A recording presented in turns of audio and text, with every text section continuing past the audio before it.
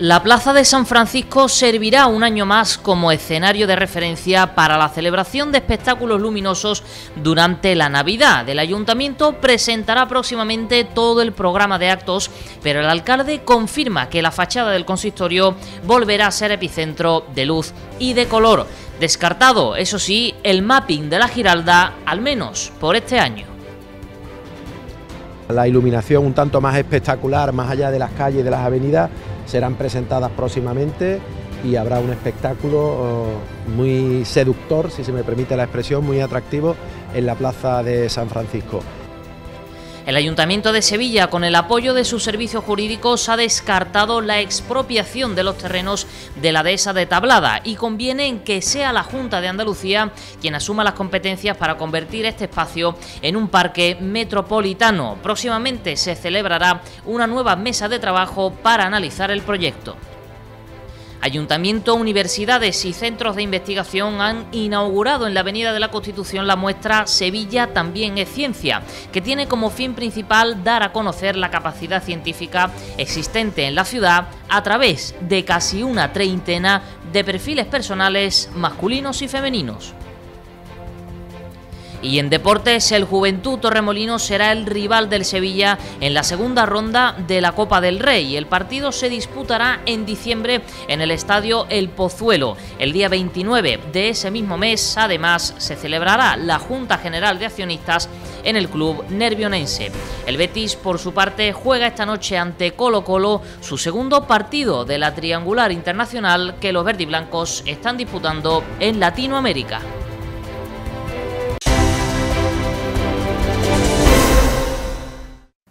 ¿Qué tal? Muy buenas tardes. Se acerca poco a poco la Navidad y en las calles y avenidas se levantan ya las luces que habrán de dar color y alegría a nuestra ciudad. Los preparativos avanzan según lo previsto y el próximo 5 de diciembre Sevilla dará la bienvenida a las fiestas navideñas en un diciembre marcado por el ahorro energético.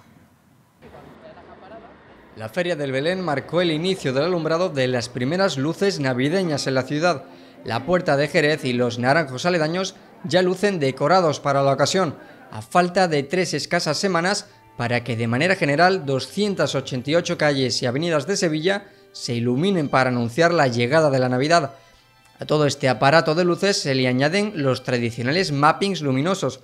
Una vez más, la Plaza de San Francisco acogerá uno de estos multitudinarios espectáculos digamos que las actividades navideñas, incluida la, iluminación un tanto más espectacular, más allá de las calles y de las avenidas, serán presentadas próximamente y habrá un espectáculo oh, muy seductor, si se me permite la expresión, muy atractivo en la Plaza de San Francisco. Aunque en estos últimos días se vislumbró la posibilidad de llevarlo a cabo, en caso de obtener financiación, finalmente no habrá mapping de temática religiosa proyectado sobre la Giralda, aunque el alcalde Antonio Muñoz confirma que se ha trabajado en ello. Es verdad que estábamos trabajando también con otras posibilidades, como el mapping en la Giralda. Mm, está avanzado, pero yo creo que a lo mejor hay que dejarlo para las próximas Navidades. El próximo 5 de diciembre, más tarde de lo habitual para favorecer el ahorro energético, se encenderán todas las luces de Navidad dispuestas a lo largo de todos los distritos municipales, con diseños renovados. El ayuntamiento instalará también varios árboles gigantes repartidos por diferentes puntos, unas luces que nos acompañarán hasta el Día de Reyes y en un horario reducido. Más información, la capital hispalense albergará la sede del nuevo organismo de la Unión Europea, el Centro Europeo para la Transparencia Algorítmica. El centro compartirá instalaciones con el JRC de la isla de la Cartuja y tendrá hasta 30 investigadores trabajando en un tema estratégico para la Unión Europea, como es el uso de los algoritmos y el control de las grandes plataformas digitales. El nuevo Centro Europeo empezará a funcionar en enero de 2023. En ese sentido, la Comisión Europea ha abierto un proceso de de selección para contratar a investigadores y académicos del campo de las nuevas tecnologías y el mundo digital. El Z se encargará de investigar y prevenir posibles usos fraudulentos o malintencionados de los algoritmos por parte de las empresas tecnológicas y se hará desde diversos puntos de vista, técnicos, éticos, económicos o legales. Chequeo por parte de una serie de investigadores, aproximadamente 30 que van a estar en Sevilla, el chequeo del cumplimiento de la legalidad de las plataformas digitales de la normativa europea. Eso es muy importante, eso es un refuerzo de la presencia de las instituciones europeas en, eh, en Sevilla. El pasado 7 de noviembre se cerró el plazo para presentar las candidaturas destinadas a albergar la Agencia Espacial Española, una carrera en la que Sevilla está muy bien posicionada. Aunque se desconoce la fecha de la proclamación oficial de la ciudad elegida, Antonio Muñoz se ha mostrado satisfecho no solo por el trabajo realizado, sino por el apoyo ciudadano que esta iniciativa ha cosechado entre todos los sevillanos, más de 14.000 firmas. Efectivamente, eh, hay muchísima ilusión puesta por parte de la ciudadanía, por parte de las instituciones que nos han acompañado en la configuración y la elaboración de la candidatura. Yo estoy satisfecho por el trabajo que hemos hecho. Convertirnos en el epicentro del sector espacial eh, de cara al futuro es garantizar la prosperidad de Sevilla en un ámbito importante de la economía. El Ayuntamiento de Sevilla descarta la expropiación de la dehesa de Tablada. Los servicios jurídicos del consistorio, tras analizar la situación de los suelos de titularidad privada, han elaborado un informe en el que se recomienda la declaración del espacio como parque metropolitano, pero dentro de las competencias de la Junta de Andalucía. De esta forma, el análisis descarta la expropiación por parte del Ayuntamiento o el uso de recursos públicos del patrimonio municipal del suelo, dado que no existe base legal para recurrir a estas vías. Será la Junta de Andalucía quien determine cómo resolver el proyecto y la situación de estos terrenos, unas 380 hectáreas que están protegidas por el PGU como suelo no urbanizable de especial protección. El alcalde ha vuelto a convocar una nueva sesión de trabajo para avanzar en nuevas vías en este proyecto.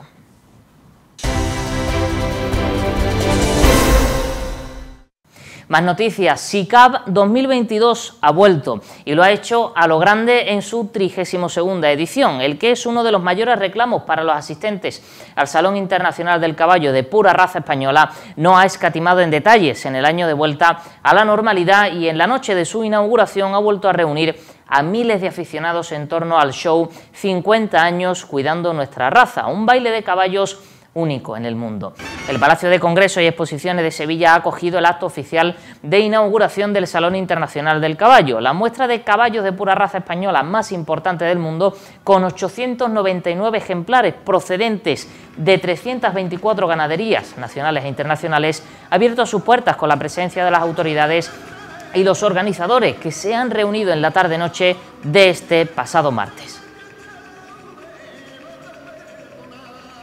Cita ineludible en el otoño sevillano, una cita importante que se ha convertido en la feria de referencia del caballo de raza española y sirve para atraer a muchísimas ganaderías y para promocionar el nombre de Sevilla internacionalmente. Y además, en los últimos años no podemos despreciar la atracción deportiva, los eventos deportivos vinculados al mundo del caballo. La Consejería de Fomento invierte casi 2,3 millones de euros para ampliar y continuar las obras de mejora en la estación de autobuses Plaza de Armas, una actuación correspondiente a la segunda fase de la reforma integral de esta estación. La titular de Fomento, Marifran Carazo, ha informado de esta adjudicación que supondrá una mejora en la accesibilidad y la eficiencia energética, así como en la renovación de fachadas y cubiertas. En el marco de esta actuación se contempla una reforma de los aseos y otros servicios que se adaptarán a personas con movilidad reducida. También se cambiará la señalética de la estación con la instalación de nuevas solerías y pavimentos. En paralelo a esta obra se empezará a planificar el desarrollo de la segunda fase que se ejecutará en un plazo de 10 meses una vez se inicien los trabajos.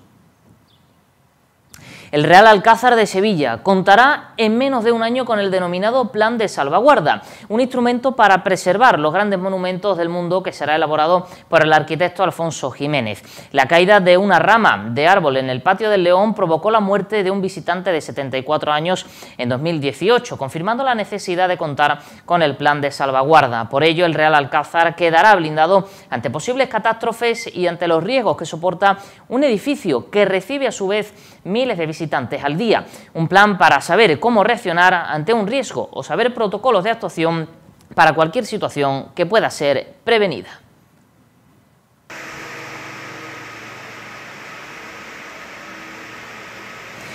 En sucesos, una mujer ha sido atendida por crisis de ansiedad tras el incendio de su vehículo en la noche de este martes. El coche, ahí lo ven, estaba estacionado en el aparcamiento subterráneo de un bloque de la avenida Concejal Alberto Jiménez Becerril y comenzó a arder sobre las 10 y 10 de la noche. La rápida intervención de policía local y bomberos logró sectorizar la zona afectada y evitar daños más importantes, tanto en las instalaciones como en otros vehículos estacionados. Actualmente está normalizada la zona y, por fortuna, no hay personas afectadas.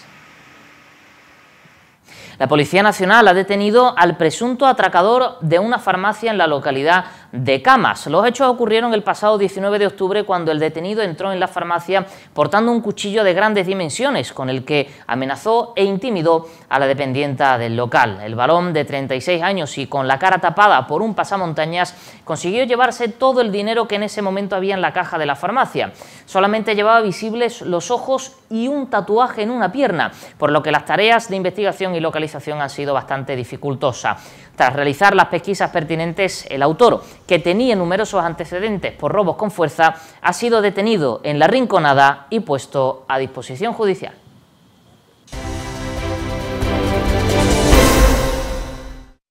El Ayuntamiento de Sevilla, junto a las universidades y centros de investigación, presenta una exposición en la Avenida de la Constitución para mostrar la capacidad científica que existe en la ciudad de Sevilla.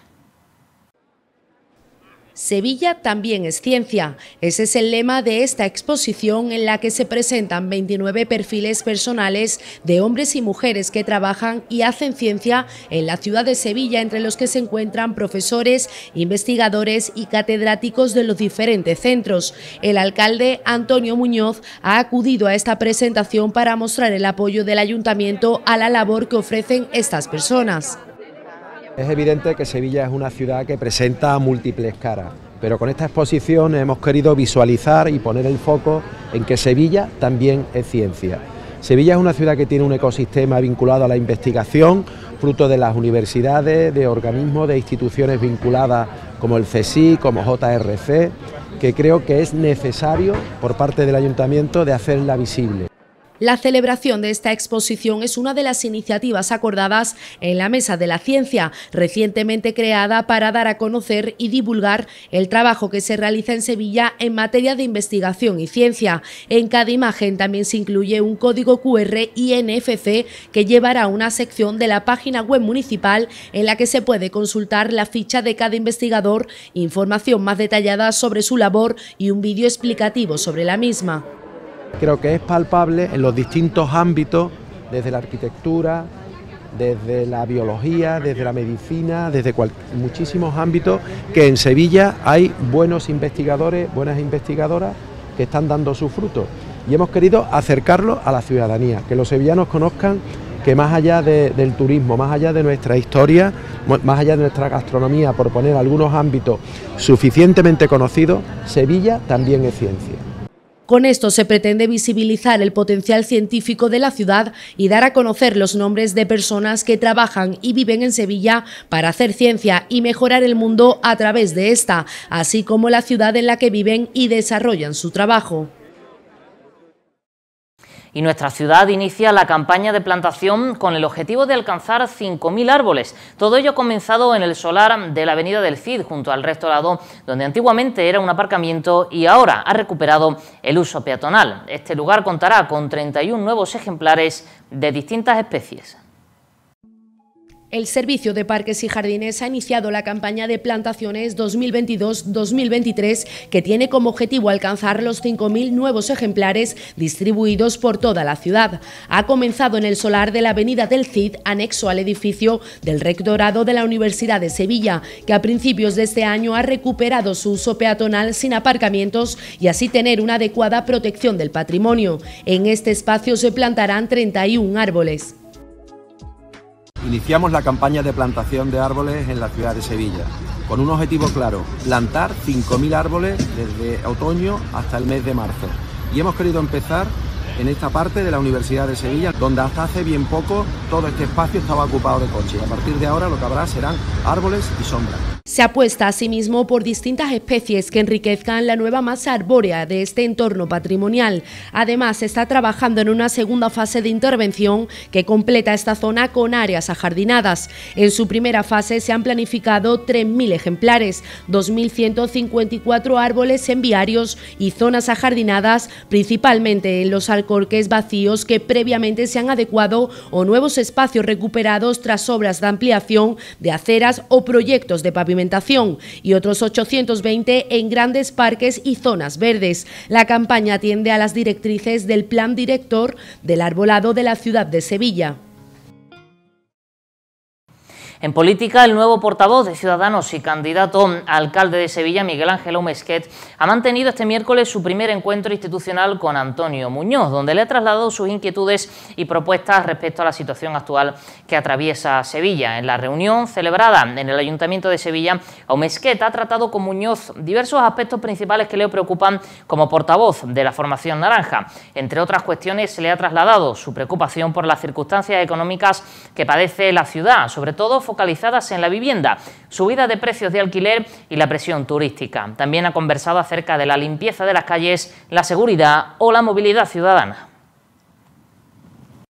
En la reunión básicamente hemos intercambiado pareceres acerca de la situación de, la ciudad en estos momentos.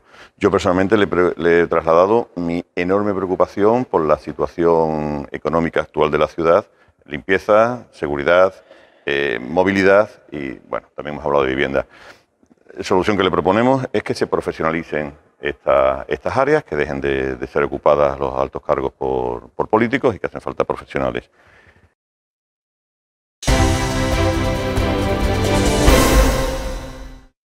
En deportes, hace cuestión de unas horas hemos conocido que el Juventud de Torremolinos será el rival del Sevilla en la segunda ronda de la Copa del Rey, tras el sorteo celebrado esta misma tarde en la ciudad del fútbol de Las Rozas. La fecha del partido aún está por determinar, pero se celebrará entre los días 20 y 22 de diciembre. El encuentro tendrá lugar en el Estadio Municipal El Pozuelo, en la localidad malagueña de Torremolinos. El club costasoleño que milita en la segunda federación derrotó en los penaltis al Huesca en la ronda anterior tras empatar a dos en el tiempo reglamentario.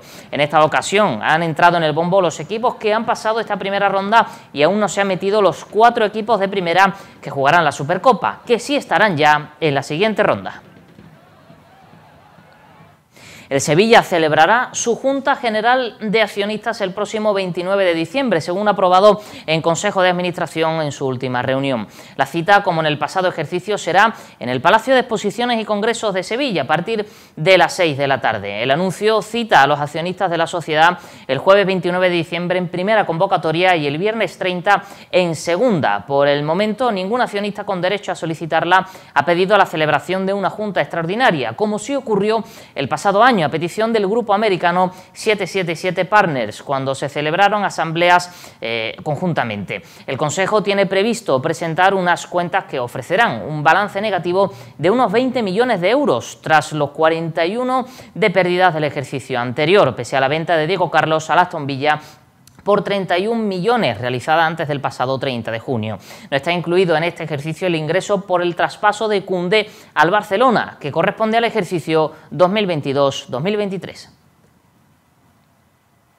Más en el Sevilla, el club nervionense tendrá 10 hombres que estarán en la cita mundialista, pero los que más controversia han levantado han sido los argentinos. Papu Gómez, Marcos Acuña y Gonzalo Montiel ya están a las órdenes de Lionel Scaloni en Abu Dhabi. Los tres argentinos no pudieron jugar el último partido liguero del Sevilla, los dos primeros por molestias y el tercero por estar sancionado tras ser expulsado en el derby. Montiel, eso sí, sí fue de la partida el domingo pasado en Muriedas ante el Velarde en la primera ronda de la Copa del Rey, donde no estuvieron Acuña y el Papu. Tras desligarse de su club este lunes, llegaron a la concentración argentina y ayer por la noche ya se incorporaron con el resto de la selección albiceleste. Y en unos minutos el Real Betis eh, juega su segundo amistoso de la gira por Sudamérica y del triangular internacional que está disputando. El rival será Colo Colo, esta vez en Chile, y el entrenador espera que la imagen de su equipo cambie. También valoró la no presencia de jugadores verde y blancos en la selección para disputar el Mundial. Pellegrini respetó la decisión de Luis Enrique, aunque obviamente como entrenador del Betis aseguraba que tanto Borja Iglesias como Canales y Alex Moreno habían hecho méritos para estar en la lista de convocados del combinado nacional. En cuanto al juego de su equipo, tampoco se muestra muy preocupado. Pellegrini ya eh, que los amistosos se los toma como un banco de pruebas, aunque evidentemente no le gusta perder. Hay un prestigio dentro del campo de juego y a nadie le gusta, le gusta perder. También hay una realidad en los partidos amistosos, como recién decía, que uno no se puede sustraer. Uno ni hace la formación para ganar el partido, ni hace los cambios para ganar el partido. A lo mejor lo usa con mucho más utilidad de ver jugadores, darles tiempo, jugadores que no están en su momento. Sí, yo creo que varios jugadores hicieron mérito para estar en la nómina de la, de la selección. Ya hay que respetar a un seleccionador nacional que está viendo todos los jugadores de todos los equipos, todos los partidos y que le debe costar muchísimo hacer una lista. Ya saben que el Betis presentará en su próxima junta de accionistas unas pérdidas de 38,3 millones de euros, una cuestión que le va a obligar a maniobrar para establecer un equilibrio financiero que garantice el horizonte de la entidad. Es por ello que el club ya tiene previsto una financiación de 65 millones de euros a través de los derechos televisivos y ticketing. Esta se establecerá gracias al acuerdo que el Betis está a punto de firmar con un fondo de inversión para recibir dicha financiación, con un plazo de devolución de de seis años. Tal y como señala ABC de Sevilla, la operación financiera no se trata de una de las conocidas palancas. El club añade esta vía a la ya abierta de CVC que permite rebajar la tensión del patrimonio neto negativo de los 69 a los 43 millones y a una ampliación posible de capital. Y vista ya la información deportiva, conocemos ahora la previsión meteorológica de cara a mañana jueves.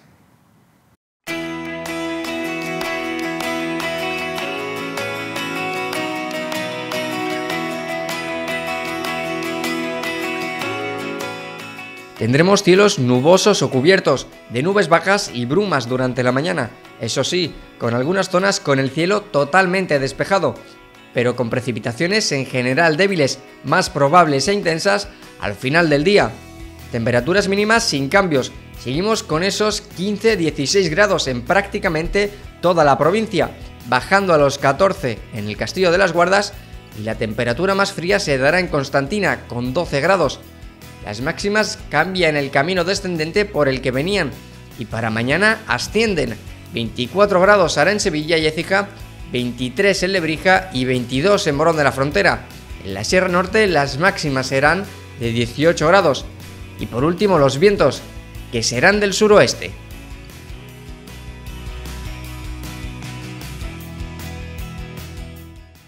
Y nosotros cerramos el informativo de hoy celebrando, como no puede ser de otra manera, el Día Internacional del Flamenco, un bien inmaterial de la humanidad del que nuestra tierra andaluza debe sentirse orgulloso y defenderlo cada día. Por ello, esta misma tarde ha visitado el plató de Sevilla TV la cantaora argentina, una de las más célebres voces del panorama flamenco actual, con la que hemos desgranado su carrera profesional y la situación actual del arte hondo. Con su música nos despedimos, recordándoles que mañana regresamos con más información en PTV Noticias. Muchas gracias por su compañía, que pasen muy buena noche.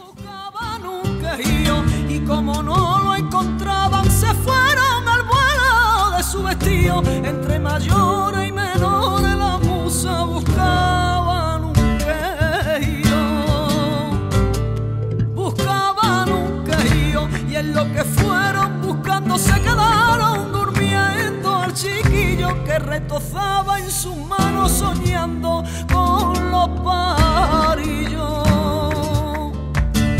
Y al alba que silencioso escuchaba, los ángeles propusieron